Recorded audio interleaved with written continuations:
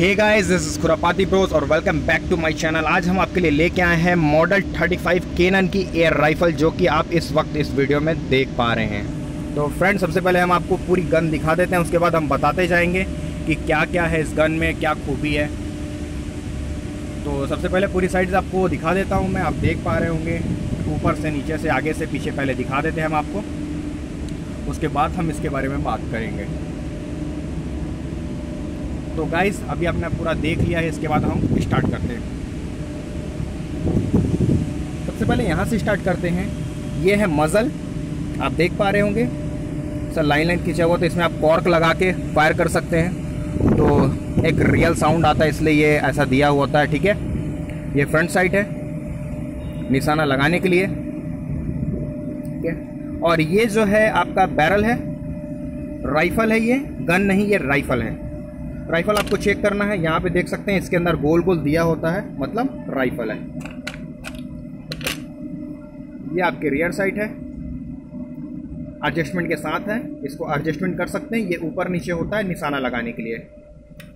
Wooden है, आप देख सकते हैं वुडन स्टॉक है पूरा, लकड़ी की। तो लकड़ी जो है फ्रेंड एक रियल फील देता है, लकड़ी का है। और इसका नाम है केनन 35 मॉडल जो कि आप यहाँ पे देख सकते हैं।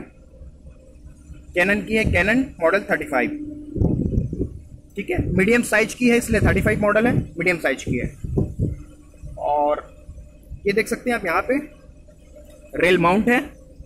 इसमें आप स्कोप वगैरह लगा सकते हैं। निशाना अपना एक्यूरेट करने के लिए स्कोप लगा सकते हैं इसमें या लेसर वगैरह जो भी आप लगाना चाहें, आप लगा सकते हैं। 11 एम mm का है ये। और इसके बाद यहाँ पे हैंड ग्रिप मिल जाएगी आपको। एक अच्छी पकड़ मिल जाती है। देखिए, मेरा हाथ पूरा अच्छे से कवर कर सकता है इसको। ये देखिए, एक अच्छी ग्रिप मिल जाएगी। ट्रिगर है। ट्रिगर भी बहुत ही स्मूथ है। और चिक रेस्ट आप देख सकते हैं, बहुत ही अच्छा डिज़ाइन है। कैनन की ब्रांडिंग यहाँ पे दिख जाएगी आपको। और शाइनिंग मेरे हिसाब से तो शाइनिंग काफ़ी अच्छी है इसमें। वुडन है, मैंने आपको बताया, पूरा हार्ड वुडन है, पूरा भरा हुआ है अंदर से। आजकल तो फाइबर की आती है। और ये आपको रबराइज ग्रिप मिल जाएगी यहाँ पे। ये आप देख सकते हैं, ताकि मैं मैं आपको पलट के दिखाता हूँ, ये देखिए।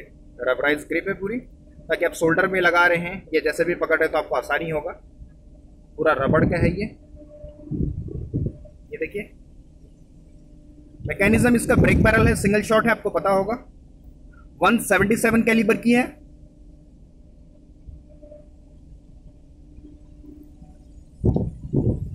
मैं आपको फिर से दिखाता हूँ। ये एक राइफल है। ब्रेक बैरल मैंने आपको बताया था। ब्रेक करके दिखाता हूँ आपको। ये देखिए, कुछ इस तरह से ब्रेक करते हैं इसको। ये। यहाँ पे आपको ट्रिगर में सेफ्टी लॉक का फीचर नहीं मिलेगा।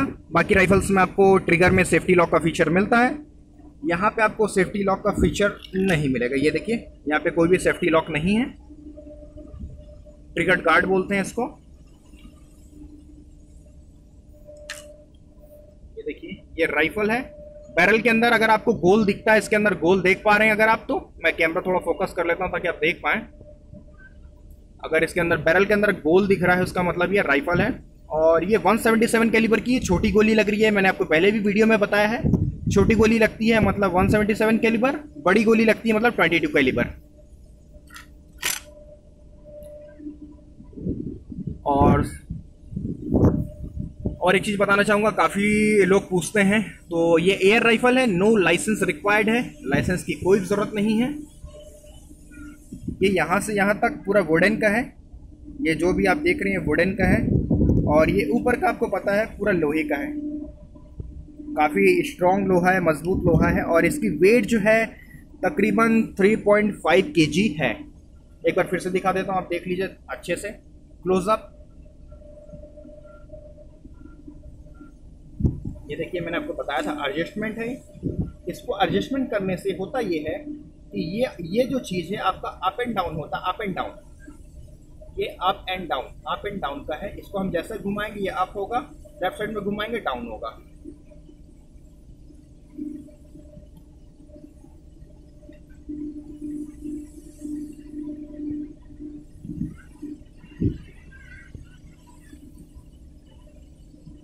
तो गाइस अगर आपको वीडियो पसंद आई तो please like share and subscribe करें।